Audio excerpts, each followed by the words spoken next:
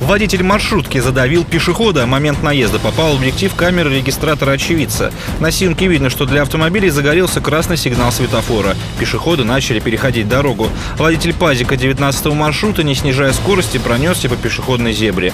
Под колесами автобуса оказался мужчина. По предварительным данным, пострадавшего в тяжелом состоянии госпитализировали.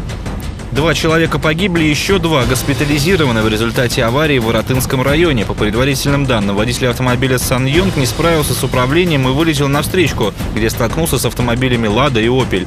В результате двое мужчин погибли, еще один мужчина и 11-летняя девочка пострадали и были доставлены в больницу.